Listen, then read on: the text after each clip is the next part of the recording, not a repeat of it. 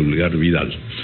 Este, lo estábamos extrañando, tiempo que no conversábamos. En época electoral, en época electoral, entonces uno se abstiene de hacer comentarios. No, pero es importante sobre todo saber, de todas maneras, primero que se sigue trabajando. El, el, gobierno, como la vida, no se detiene, ¿no es cierto? Este, y lo segundo, que efectivamente tenemos emprendimientos siempre importantes, ¿no es cierto?, en el sector gubernamental y, ministerial. Cuéntenos a ver, ¿en qué, ¿en qué está usted aquí? Hay un estudio técnico, entiendo, este, y es sobre el mar, además, es una cosa interesante porque en realidad siempre hemos tenido y hemos procurado y querido ser vanguardia, digamos, en materia de investigación y estudio del mar peruano tan vasto, tan rico. Pero al mismo tiempo, en realidad, el problema mayor que no es del medio ambiente, no es de su ministerio, es la vigilancia de nuestras costas y sobre todo de todas estas grandes aparatos, naves inmensas que se llevan los recursos marinos de una manera feroz, ¿no? Así es, mira, mira Raúl, eh, alguna vez habíamos hablado hace unas semanas de una iniciativa del Servicio de Áreas Naturales Protegidas, CERNAM, que es un organismo adscrito al sector ambiente, que es una propuesta para crear un área protegida marina, más específicamente una zona reservada en la zona norte del Perú, absolutamente marina, el Perú no tiene áreas protegidas que sean absolutamente marinas, y que estaría compuesto por cuatro pequeñas áreas ubicadas entre Piura y Tumbes, que tienen como nombre Isla Foca, que es eh, eh, la, más eh, sureña de estas cuatro, el Ñuro, los arrecifes de Punta Sal y el Banco de Máncora. Y la pregunta es, ¿por qué sería necesario crear una zona reservada en esta zona del mar peruano, más aún en el año de la consolidación del mar de Grau? Porque ese es un punto de encuentro de corrientes. El Perú, como sabemos, en el norte, tiene un punto de encuentro de la corriente cálida que viene del norte, que es la corriente del Niño, cuando habitualmente no se convierte en un evento extremo, es una corriente regular que llega fundamentalmente desde Tumbes hasta las costas de Piura y luego ya se vuelve a internar al mar, y la corriente del Pacífico Sur o corriente Humboldt que es fría. Con lo cual, eh, Raúl y Armando se podrían imaginar la riqueza marina que hay en ese punto de encuentros. De ese punto donde la corriente cálida y la corriente fría se encuentran, Hoy día se entiende que ahí se reproduce 70% de lo que son los recursos hidrobiológicos para consumo humano directo del país. Es decir, es una zona que biológicamente es fundamental y por su importancia biológica necesita ser manejada. Si trabaja mejor que todos nosotros. Así es. Y, y teniendo en cuenta, Raúl, que adicionalmente a diferencia de Paracas, que nos ha permitido desde el año 75 manejar adecuadamente los recursos, pero que está al sur, y que fundamentalmente protege recursos de aguas frías, en el caso del norte no tenemos un equivalente. Entonces, estas 116 mil hectáreas totales de estas cuatro pequeñas áreas son fundamentales. CERNAM ya concluyó el expediente técnico, ya ingresó al Ministerio del Ambiente y en los próximos días se debe iniciar el proceso político porque un área de esta naturaleza se crea por decreto supremo. Bueno, ¿qué cosa significa eso? ¿Qué cosa significa una área absolutamente eh, marina y se supone que, supongo que hace referencia primero al, resguardo, ¿no es cierto? Porque allí es justamente donde también se producen pescas. Así es. Indiscriminada. Así es. Eh, en el Perú tenemos un sistema de áreas protegidas que tiene un conjunto de categorías. Y estas categorías son las que te determinan el tipo de manejo que se realiza sobre el área y el tipo de vigilancia a su vez. En este caso específico estamos en un paso previo. Se crearía una zona reservada. ¿Qué es una zona reservada? Es una categoría transitoria orientada a seguir haciendo las investigaciones y los estudios necesarios para tomar una decisión final. Entonces, esta zona reservada tendría que someterse luego de su creación a un conjunto de estudios complementarios para determinar la mejor manera de manejarlo. Y definitivamente, Raúl, tienes razón, la vigilancia es fundamental, pero acá más que la vigilancia es a su vez el diálogo con quienes desarrollan actividades económicas, que son fundamentalmente los pescadores artesanales. Sí, eh, eh, si no está justamente, digamos, en la zona más lejana. Tres de ellos están en el mar, pero pegados a la costa. Se inician desde la línea de costa. Y solamente el banco de Máncora está más internado, está en una zona más de alta mar, y esa es la zona más alejada de la costa. Por lo tanto, es zona de pesca artesanal, y felizmente los pescadores artesanales han presentado su oficio planteando su absoluto respaldo a la creación de esta área. Entonces, creo que es una buena manera de articular una actividad económica como la pesca artesanal con la conservación y con otras actividades económicas, porque ahí, como, como sabemos todos, hay plataformas de petróleo. Y esto ha generado, por la existencia de plataformas de petróleo, el temor de algunas empresas petroleras que estiman que se les puede limitar su actividad. y eso, es algo que rechazamos, porque la creación de un área protegida no excluye la realización de otras actividades económicas. todas las precauciones. Con todas las precauciones y el cumplimiento de las regulaciones ambientales. ¿Qué quiere decir? Porque estamos hablando de, de áreas que se pueden superponer con, con concesiones. Con lotes de hidrocarburos. Con lotes de hidrocarburos. Entonces, ¿qué va a pasar ahí? Estas empresas van a tener que aceptar que pierden parte de la concesión o es una negociación la que se establece con ellos? A ver, en primer lugar, cuando uno crea un área protegida, y se han creado muchas áreas protegidas sobre lotes de hidrocarburos, nadie pierde. No es que el lote pierde y tiene que redimensionarse. Lo que ocurre es que se establece un diálogo que permite que esta actividad económica se haga de manera tal que tampoco dañe los objetivos de conservación. Y te pongo armando ejemplos.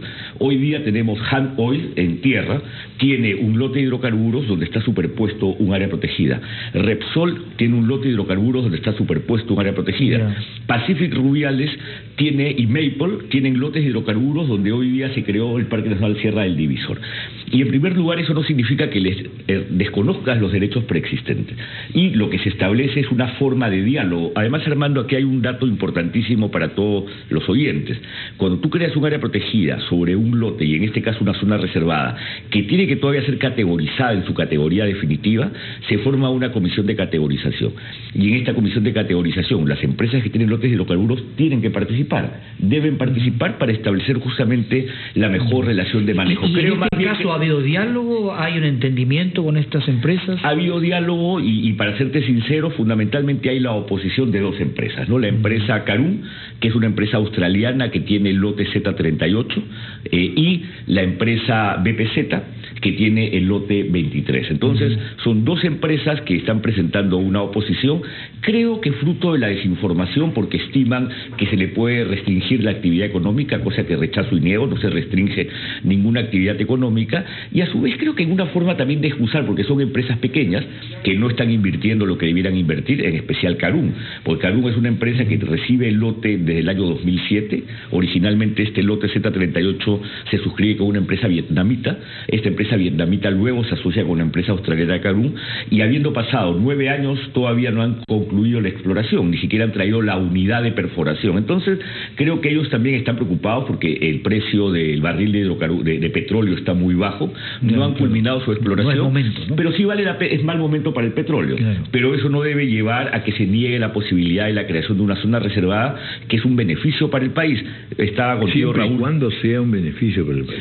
Es que es altísimo beneficio. Esta zona, Raúl, es una zona que es base de recursos, base de reproducción de recursos hidrobiológicos, es paisajística, hay mucha gente que está yendo al Ñuro y hay tortugas marinas, pero a su vez es la zona de presencia de las ballenas jorobadas que vienen desde el sur, es la fuente de nuestra gastronomía, es una eh, buena medida para manejar adecuadamente la pesquería artesanal, entonces tiene un conjunto de beneficios como en su momento. Pero además es una lógica, es una lógica que además comparten los, los gobiernos de los países de donde vienen estas, estas empresas, ¿no? Porque es ahí justamente donde ellos también tienen que respetar esas normas. Así es, mira, Australia, de donde viene Carum, es un país que tiene el gran arrecife coral. El gran arrecife coral es patrimonio mundial de la humanidad.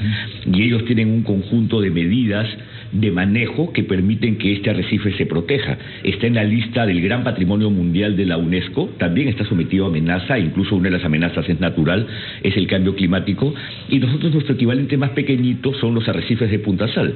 Nosotros no tenemos grandes formaciones de arrecife porque no tenemos eh, mares cálidos, salvo en el norte del Perú, y entonces este pequeño arrecife es una fuente importantísima de diversidad marina, de recursos hidrobiológicos, de fuente para la alimentación, de actividades económicas que tenemos tenemos que saber manejar. Yo estoy seguro que vamos a lograr un entendimiento y esta área se va a crear. Bueno, hablemos, ministro, de lo que se viene. Es decir, en los próximos, ya estamos a tres meses de que se cambie, cambiemos de gobierno. ¿Cómo deja el ministerio? ¿Cuáles son las acciones este, preparatorias, digamos? Y lo ideal, como siempre se ha reclamado, es que se dejen las cosas de tal modo que por lo menos se vea con toda claridad en dónde debiera mantenerse una línea política constante, ¿no es cierto? Acciones y principios básicos, pero en fin. Eh, Nosotros en el Ministerio del Ambiente hemos establecido desde inicios de este año una estrategia de cierre ordenado y muy responsable. Lo que significa en especial, Raúl, que hemos identificado temas sobre los cuales estamos escribiendo documentos, dos de ellos han sido presentados en RPP, uno fue sobre fiscalización y el otro sobre organismos vivos modificados o transgénicos, en donde cada una de estas publicaciones refleja lo que hicimos, sustenta por qué lo hicimos, plantea los resultados de lo que se adoptó, pero también plantea los retos futuros. Entonces creemos que es una manera adecuada de transferir lo que han sido nuestras acciones. Estas han sido dos de 14 publicaciones. Todavía de aquí a julio tienen que salir las otras 12. Por ejemplo, ¿cuál viene? Una que es muy sensible incluso ahora en la discusión política, el ordenamiento territorial. Porque ahora en campaña, sin meterme a campaña, porque hoy ya no se debe hablar sobre estos temas, pero mucho se, se, plantea como que el ordenamiento territorial en el Perú no existiese. Entonces, polarizamos como siempre el debate. Algunos que creen que solo el ordenamiento territorial salvará al Perú y no hemos hecho nada, y otros que como ayer en una columna en el diario El Comercio, Iván Alonso, el economista, porque lo puedo citar, decía el ordenamiento territorial no sirve para nada. Y, y la realidad de las cosas, Raúl, es que en ordenamiento territorial hemos hecho mucho. Trece de las regiones del país han culminado esta fase que se llama la zonificación ecológica económica, que permite ya haber analizado el potencial del territorio. ¿Qué potencial tiene el territorio para desarrollar minería, bosques, conservación, actividades económicas, etcétera? Muchas de ellas están pasando lo que se llama los estudios especializados, porque tú no puedes hacer un análisis, una decisión sobre el territorio si no analizas las dinámicas regionales, las dinámicas económicas, las dinámicas de infraestructura, los riesgos a la vulnerabilidad por fenómeno del niño, cambio climático. Culminado eso y en el futuro, tienen que hacerse los diagnósticos territoriales integrados para recién llegar a un plan de ordenamiento territorial. Lo que quiero decir en resumen es que sobre eso hemos hecho mucho, siguen existiendo retos y lo bueno es que lo hemos hecho en un nivel de coordinación y cooperación muy bueno entre el gobierno nacional y los gobiernos regionales e incluso provinciales. Y eso es una tarea que se tiene que hacer. Entonces, nadie puede venir a decir en el ordenamiento territorial no hemos hecho nada en el Perú. Lo hemos hecho y lo hemos hecho creo que bastante bien. Un reto, y esa es la cuarta o quinta publicación, es la minería ilegal. Te lo decía y lo doy como primicia a los medios porque esto todavía no ha sido comunicado. La Contraloría de la República acaba de culminar un estudio de auditoría en el gobierno regional de Madre de Dios. Y lo que deja claro este informe de auditoría, que, que me gustaría probablemente en los próximos días ya entrar más a detalle del mismo, lo que muestra es que en el gobierno regional de Madre de Dios no ha habido ninguna voluntad para apoyar el proceso de formalización minera. No es que las normas sean malas, sino que el gobierno regional no tiene el más mínimo deseo de hacer que el sistema funcione. Pero con le interesa que no funcione porque ahí está la que no funciona. Pero con datos tan interesantes como, por ejemplo, el informe dice, se le dotó de una camioneta para que sea utilizado por la dirección regional de minería, que son los que están a cargo de la formalización. Es la camioneta que hoy día está destinada a otro uso, la usa el gobernador regional. Se le destinó tantos millones de soles para que establezca la ventanilla única. No los ha gastado o los ha gastado para otro fin se estableció las reglas del gobierno nacional para la formalización, creó condiciones incumplibles con el único fin que ninguno se formalice. Y encima este informe te muestra al detalle casos que están listos para recibir su autorización de inicio o reinicio de operación como formalizado, pero que el gobierno regional no les da pase. Es interesante que la Contraloría haya ingresado y que haya demostrado fehacientemente que el proceso no es malo, no se meten al proceso obviamente, pero que aquellos que deben cumplirlo no muestran ninguna voluntad y es más, ¿y qué acción se puede tomar en ese caso? Eso me parece muy interesante lo que usted cuenta, porque efectivamente, ¿cuáles son los mecanismos de vigilancia de la administración regional? El gobierno regional, que ese es uno de los males que hemos venido arrastrando y por eso tanto pícaro y algunos en la cárcel. El informe de auditoría Contraloría plantea responsabilidades funcionales sobre las cuales eventualmente se tendrá que iniciar un proceso judicial por responsabilidad funcional, identifica delitos ambientales sobre los cuales también hay que iniciar procesos judiciales, pero también recomendaciones para que los sectores hagan una vigilancia más cercana. Por ejemplo, energía y minas, que es el que transfirió los recursos para la ventanilla única, tiene que hacer un monitoreo adecuado de cómo se están utilizando esos recursos. Al Ministerio del Ambiente le solicita a la Contraloría que establezca un mecanismo para resolver un problema de superposición con concesiones forestales. Y ese, a cada una de las autoridades del gobierno nacional también le establecen recomendaciones de esta naturaleza. Pero adicionalmente, Raúl, tú has planteado un tema central. Nosotros somos unos convencidos que la fiscalización en actividades de minería ilegal, que hoy día no hacen, debieran hacer, pero no hacen los gobiernos regionales, debiera estar en manos del OEFA, porque el OEFA es la entidad que está capacitada, preparada, con recursos financieros para fiscalizar adecuadamente. Eso nos llevó a que en un momento presentásemos un proyecto de ley al Congreso de la República que lamentablemente congresistas que apoyan a la minería ilegal como Amado Romero lo bloquearan. Entonces nosotros insistimos en el Congreso que ese proyecto tiene que ser aprobado. Yo lo que sí muestro es mucha satisfacción que hemos avanzado, quedan retos centrales para el futuro y hay algo que repetiré y he venido repitiendo durante este debate electoral. Es muy irresponsable que alguien pretenda dar marcha atrás a este proceso. El proceso puede requerir siempre ajustes, siempre mejoras, siempre niveles de mayor dedicación, pero dar marcha atrás es liberar del cumplimiento de normas. Concretamente, ¿qué sería dar marcha atrás? Derogar las normas que, por ejemplo, te establecen limitaciones al uso de maquinaria tipo dragas o carrancheras en cuerpo de agua. Derogar las normas que te establecen fiscalización de insumos eh, para la minería ilegal, que es combustibles, que es mercurio y que son otros. Derogar las normas que te establecen restricciones para que la minería se desarrolle en un corredor, en el caso de Madre de Dios, y no fuera de este corredor. Y lamentablemente, Armando, continuamente en el Congreso se presentan proyectos de ley orientados a derogar estas normas. ¿Por qué? Porque lo que se quiere es destruir esa parte del territorio que de por sí está bastante Y, y porque además se ha visto el peso económico y político que tiene la minería ilegal, ¿no? Así es, Eso mira que algunos candidatos, sin mencionarlos, han ido a la Rinconada, que es esta zona de Puno, en Ananea, y han eh, ofrecido que van a derogar las normas para formalizar a todos. Seamos sinceros, no es posible formalizar a todos.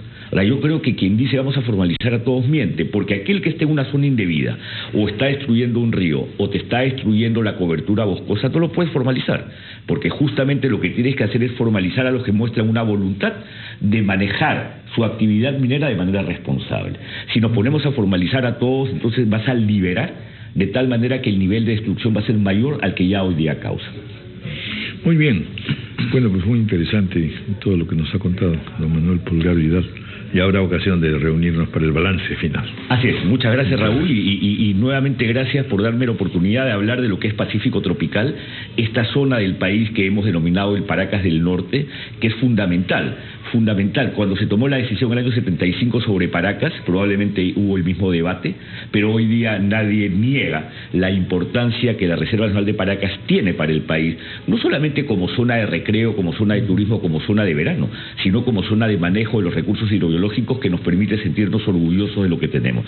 Necesitamos algo equivalente en el norte y yo estoy seguro que empresas como Carum o empresas como BPZ entenderán que es posible compatibilizar actividades económicas, incluso extractivas como el petróleo, con la conservación. Yo estoy seguro que eso va a prosperar y nos vamos a felicitar los peruanos de haber protegido esa zona del mar peruano. Muy bien, felicitaciones, ministro. Muchísimas gracias.